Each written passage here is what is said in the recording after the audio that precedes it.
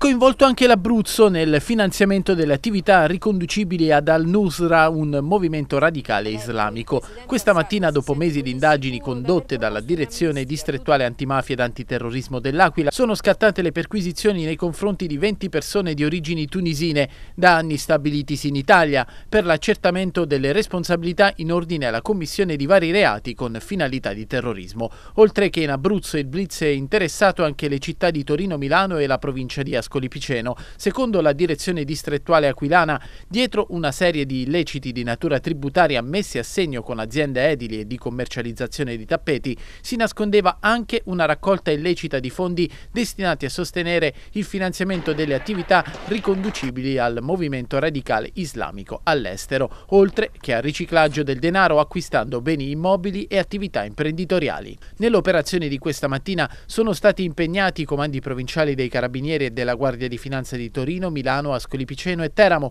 con il supporto del ROS dei Carabinieri e del Servizio Centrale di Investigazione sulla Criminalità Organizzata della Guardia di Finanza.